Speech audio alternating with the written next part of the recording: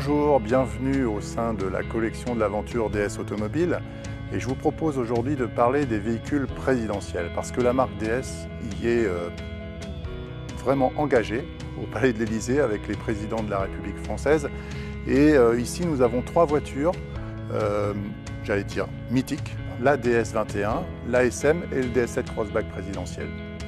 Alors, la DS21, c'est une voiture vraiment atypique, très longue, 6,53 m, qui est apparue en 1968, dont le président Charles de Gaulle et le président Pompidou euh, se sont servis, mais assez peu en fait, parce qu'elle n'a que 6500 km et c'était une voiture pour euh, euh, recevoir les hôtes de la République, les invités de la présidence française, et une voiture vraiment faite avec le meilleur du savoir-faire français à l'époque, pour vraiment montrer la vitrine technologique de l'industrie française, et notamment grâce à l'aide du carrossier Chaperon, euh, qui était un carrossier vraiment très renommé à l'époque et qui euh, faisait euh, des voitures atypiques comme cette DS21.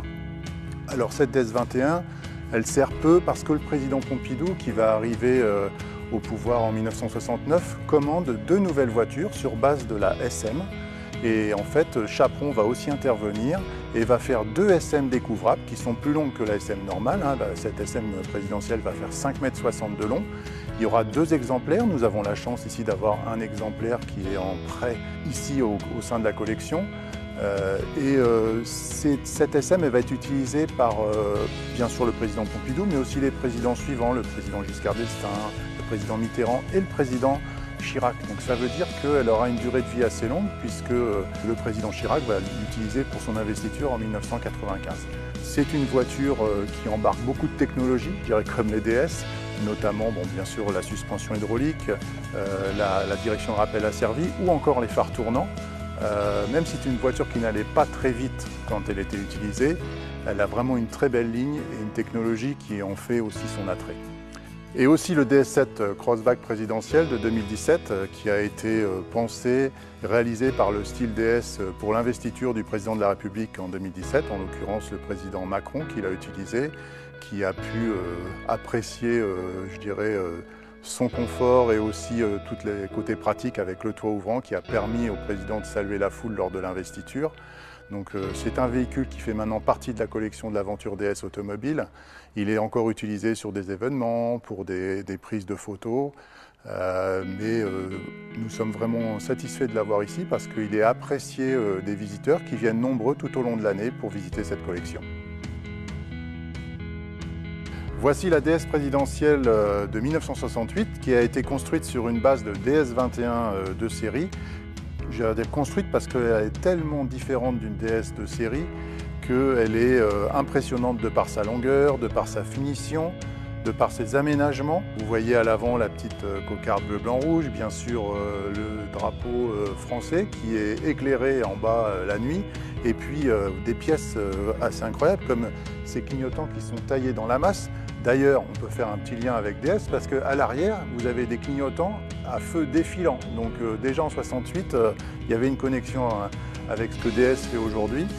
Et euh, venez voir l'intérieur. Franchement, c'est assez bluffant parce qu'il y a une finition incroyable avec ce cuir, ce bois hein, qui est utilisé. que ce soit à l'avant ou à l'arrière, c'est la même finition, un tableau de bord spécifique euh, rien que pour cette DS présidentielle, qui finalement aura été peu utilisée, mais qui a marqué son histoire euh, de par sa stature, de par sa finition, de par sa longueur, parce que c'est une DS. Voilà la SM présidentielle, donc bienvenue dans les années 70, puisque cette SM est apparue en 1972, commandée par le président Pompidou. Il y a eu deux exemplaires qui ont été faits euh, sous cette forme-là, toujours par le carrossier Chaperon comme pour la DS. Là, nous avons la version 3PR75 euh, qui a été utilisée donc, juste depuis le début des années 70 jusqu'au milieu des années 90. Euh, Alors, cette voiture découvrable, c'est ce qui en fait son charme. Elle a vraiment une belle ligne. Elle est un peu plus courte que la DS, hein, mais elle fait quand même 5,60 m de long. C'est une voiture d'apparat pour les invités de la République, les autres euh, invités pour un voyage officiel. Et elle a un intérieur en cuir magnifique qui est toujours en très bon état et je vous assure que quand on s'assoit dedans, on a envie d'y rester. Vraiment, c'est un bon choix du président Pompidou parce que l'ASM Elle fait partie de ces voitures mythiques de la production mondiale automobile. Et c'est une voiture qui a tant apporté à l'époque parce qu'elle avait une technologie embarquée assez incroyable. Et donc elle avait vraiment euh, toute sa place en tant que véhicule présidentiel. Alors on fait un petit saut euh, dans l'histoire et puis on arrive euh, en 2017 avec ce très beau DS7 Crossback présidentiel qui a été entièrement habillé, pensé, designé par les équipes du style DS et qui, comme la DS et la SM, montre le meilleur du savoir-faire français de l'époque. Et donc euh, le président de la République, élu en 2017, en l'occurrence le président Macron, l'a utilisé pour son investiture. Il a notamment utilisé le toit ouvrant qui lui permettait de, saluer la foule.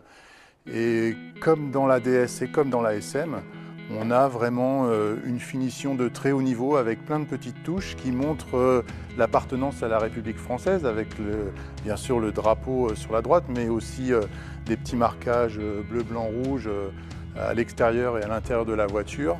Et ça montre bien que DS est une marque premium et une marque qui maintenant a sa place au Palais de la Présidence de la République française.